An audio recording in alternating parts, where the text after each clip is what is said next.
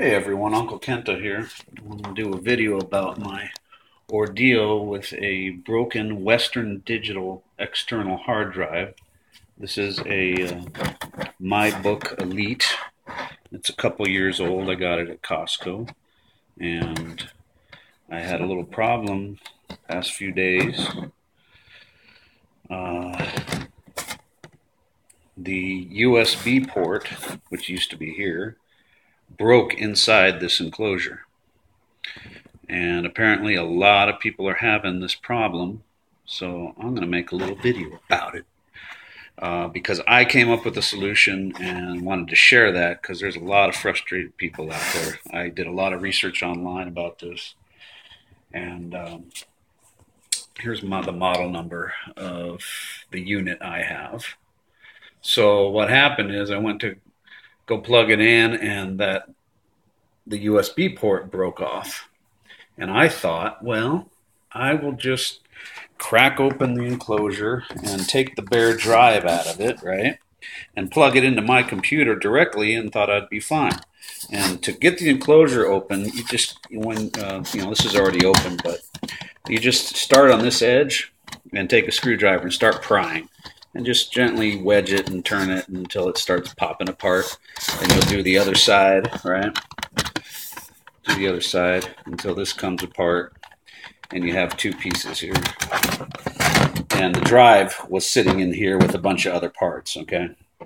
So that's how you get it apart. You just need to pry this this portion off of it with a screwdriver. Start carefully and just it'll start cracking and popping. And it'll come off. Um, well, the reason is this is empty, so um, I took the hard drive out, right? And I thought, oh, I'll just disconnect it from this board.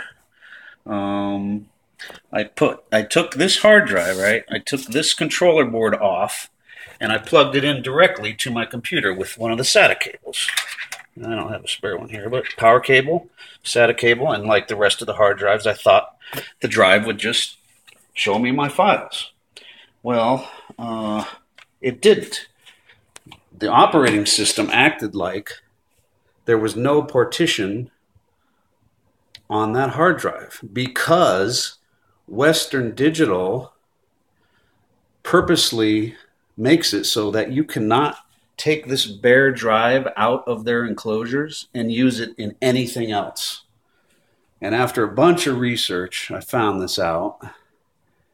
And was very disappointed. So if we go to disk, right? Look here, it's asking to initialize the disk. It's it's recognizing this disk, which is plugged in via USB, right? Um, except I can't see it. So you do not want to initialize and reformat your disk because you're going to overwrite all your data. So here's I got a bunch of hard drives in here, but here's the one. Here, here's this drive, unallocated, right? Unknown. It's a one terabyte, right? Unallocated. So what I have read some people end up doing, they they say, oh, I'll initialize it, and, and it starts formatting. They create a new partition, and now they've just overwritten all their data. So don't do that. Turn this light out. Reflection. All right, right yeah, don't repartition it. So at this point, this was three days ago. I thought my all my data was gone. So and uh, if you see if you go to device manager, look, it, it shows that there's that drive is connected via USB.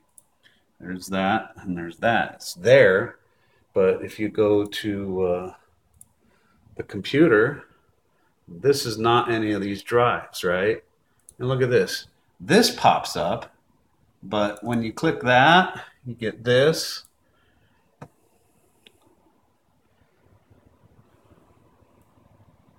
Where is it? It's not opening. Where is it?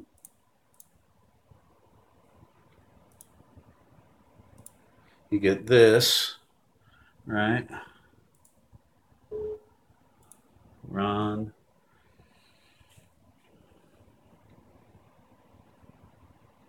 Come on, hurry up. Where is it?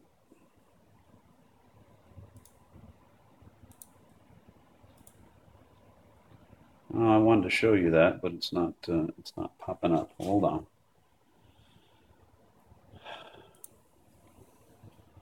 I'm gonna have to edit this video. Damn it.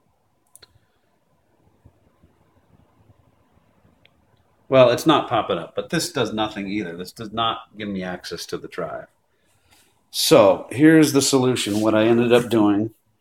Here is the port that broke off. It's it's this one here. It's the, the tiny little USB port, right?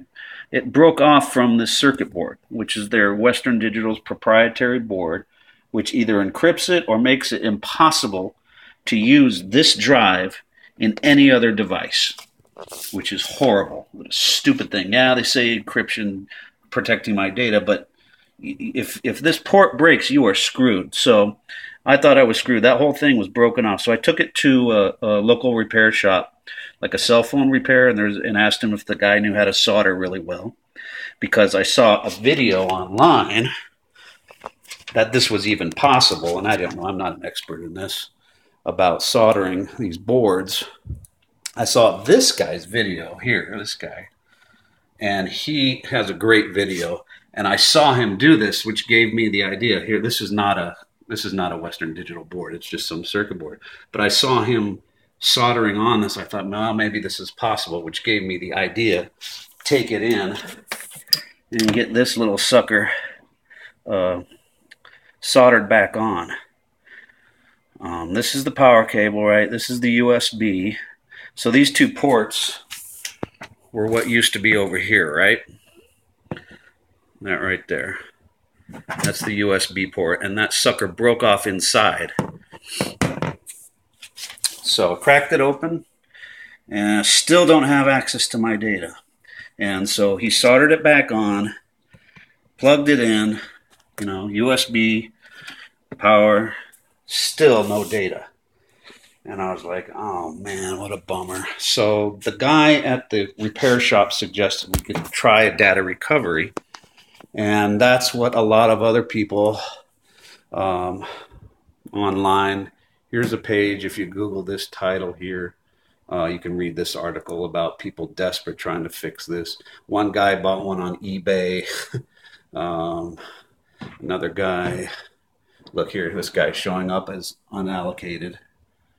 So this guy had the same problem. This was uh, that was three years ago. This is 2016. Here's the guy doing the same thing I tried. Um, he found a, he actually replaced his circuit board. Um, took him a month to get it from China, and uh, he was able to uh, um, get his fixed by replacing the the board here. Um, and but in my case, what I did once that sucker was soldered back on, um, I delicately plugged it back in, and it's been sitting here. Um, I, I, propped up the drive a little bit on a couple of dog biscuits here, which are perfect. So that was sitting, so it's not uh, bending here because the circuit board plugs in to the SATA power and SATA SATA cable. Uh, right here. So this pulls off, and I'll show you that in a little bit. So, continue. Oops, sorry. Continuing the story. Uh, at that point, I had read a couple other people. Uh, here's the Western Digital Discussion Board talking about. Uh, yeah, look, this is a known problem. Been going on for a long time. Um, talking about encryption that they use to make it impossible for you to use your drive in any other device, which I think is insane. I think you should be able to go and buy a aftermarket enclosure and get your drive back at least. If not, plug the damn drive into any computer internally and get it to work. Thanks a lot, Western Digital. Here's another guy, uh, another article. Google this one if this might help people. Um, people on eBay selling the, the boards, but I haven't if you look, uh, uh, there's a serial numbers on the boards. You have to get the exact one, and these things are in in China, and it would take a month to get. Uh, and I'm like, oh man, I don't want to do this. Here's a company I found that sells them, but look, they're 35, 70 bucks. There's a bunch of different ones. I have no idea Uh, if you can, if I could even get the right model number, I'm like, I don't want it. This is insane. So this is this. A lot of people were helped with this. They got their their board and plugged it in, and it worked for them. Some did not. Uh, what else did I want to show you? Showed you that guy. So here's what I did. At this point, once I'm, I see that this drive is showing up unallocated, right? Where is it? There it is. I'm like, damn. So at this point, it's plugged in, it's powered. Obviously, the uh, Windows is seeing it in the device manager. So I thought, eh, all right, I'll try some data recovery. And the first one I Googled was Wondershare uh, data recovery. You see that there. Um, and so what happened was I let I, I, I loaded that software up. Let me open it up real quick. Hold on. Oh, here it is. So we're going to open that up. And I saved that scan. So here, here's the software. You'll run through it. It says next. I picked all file types. All right. And I'm not going to do the scan again and I said, Where did you lose your files? Uh, I said, I cannot find my partitions. Um, and then next. Ah, yeah. And so it says select a physical drive to search partitions. And hey, look at this. Look what's here. So Wondershare can see it but Windows or anything else cannot. And enable quick scan. I think I left that checked and then clicked next. And I think it starts scanning. Oh no, another screen. Select partition and look at this, partition one, there it is.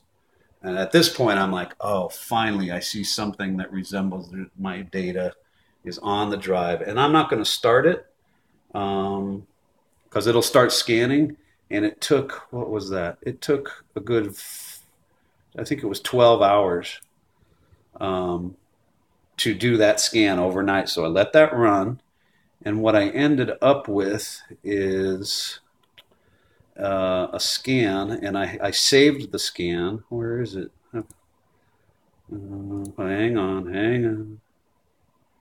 About maybe I have to start over here. Close that. Why is this open? I don't know. So reopen Wondershare. Stand if you don't want to use this wizard standard mode. Resume a recovery. Uh, let's try that. Uh-huh. where did I put that? Hang on, guys. Uh, I saved that scan somewhere. I think it was just in my backs. Hold on. Yeah, here it is. So after that scan had run, um, let's, let's open that up. Check this out. Um, so here was the results after, oh man, it's loading that up. So keep in mind, this took 14 hours to get this scan to this point. I saved that scan in Wondershare and check it out. I'm not gonna I'm gonna back up so you don't see all my folder names, but there's my folders. And at this point, let's see. Uh, let me pull up a uh, a image because at at this point I went into a file where I, I knew I had some old photographs. And okay, so here, so I pull, I, I click on a folder and look at that. See, you see a preview of an image, and at that point, I knew, oh, the software can see all my photographs, which was the I have, I have photographs, digital images going back to 2007, which I know I should have had a second. That's another story. Should have had a second backup, but um, at this point, you can then select all your files that you want to back up and say recover. So let's just do one. I don't want ever to do everything again, so I'm going to do this one file. There's another image and so you click recover. So at this point, we've the, the Wondershare has done the really long scan, right? That took overnight. I, I saved that scan and we just reloaded it, right? And I'll do a, a, one, a single file. I recovered everything to a new hard drive internally, but just to show you how this works, I said recover. It asks you, okay, where do you want to save it? And I'll save it. Uh, uh, let's see, just put it anywhere. Put it on the root. You click recover. Boop. There it goes, and it gives you uh, on that drive. It'll give you uh, uh, this folder here, right? And when you go in there, whatever files you selected in the software to recover, in the folders, look, there's that image. It's good to go. So, wow, what a relief. So I just wanted to share this video with you guys. Uh, I'm sure there's other people who are going to have this issue with these stupid Western Digital external hard drives. Can't trust them. Uh, that, that that's a single point of failure. These these little ports here for something so important. Um, yes, you should always have a second backup. Uh, like I said, that's another story. That uh, one of those drives went bad, and I had some data that I I didn't have a second backup at that point. So you can't trust these things. Um, weak point again these little tiny little things connected to the circuit board. Oh, I was going to take this apart for you. I'll show you the rest of it. Let's see. Let's, uh, let's unplug USB. Pull that off carefully. Unplug the power. Not tearing the rest of it apart. I'm good to go. I can I can toss this now. It's, my data's safe. So this thing on the Elite board, it had this little thing that goes to the front, the ribbon cable there, which is just hanging on for dear life. Um, so I somehow maintained that without breaking that off during the whole deal. And this just comes off here, right? This controller board. So you just pull that off. There's the SATA connectors. So this is just a plain old hard drive now, right? So here's this bloody controller board, which I can throw out now, so I don't care right now anymore about it. That's the back of it, right? So that connects to the hard drive. That's what the focus is. Zoom in. That connects to the hard drive. And here's the ports. So, you know, that is that there, and then the power is there.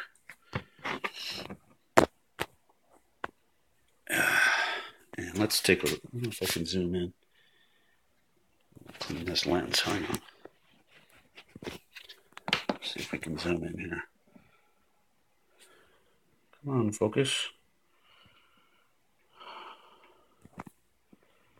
Try and get a Why is it so blurry? There. So he can see where he resoldered that thing back on for me. What a delicate job, but it's doable. I couldn't have done that. It's just so tiny.